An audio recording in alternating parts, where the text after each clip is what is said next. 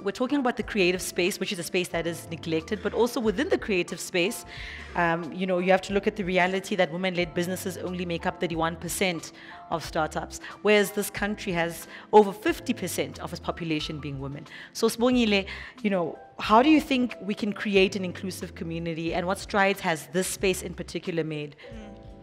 Um, I, I think it starts I know I say this a lot, but it starts with all of us.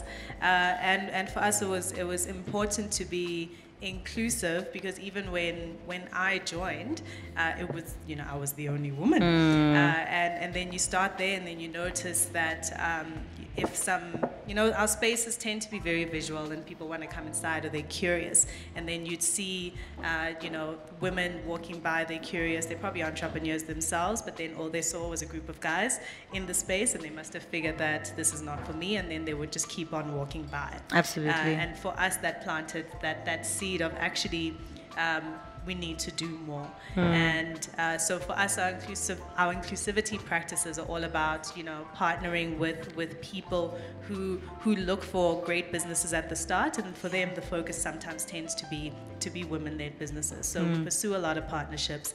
Um, and we've grown from the point where we were attracting only a few uh, women-led businesses, uh, and now we're attracting a lot more. I know mm. I'm sitting up here with, with the guys, the women are around as well, and, and all of them, they have, you know, different businesses, and it just adds a richness to the community. Absolutely. Um, and there's you know, we have to think about it beyond just us, but rather the with diversity, you get access to a diversity of markets. Exactly. Right? So, you know, not everyone thinks the same. So mm. if it's just like a, you know, it's just a little club, it can even be, you know, if it's just a club of us, you know, fine artists, mm. you'll only ever think about fine art in your way. You need to be able to, to open up and think about the broader market. What does the person down the street think or around the corner? And you mm. can only get that if you have a rich and diverse mm. community. Mm.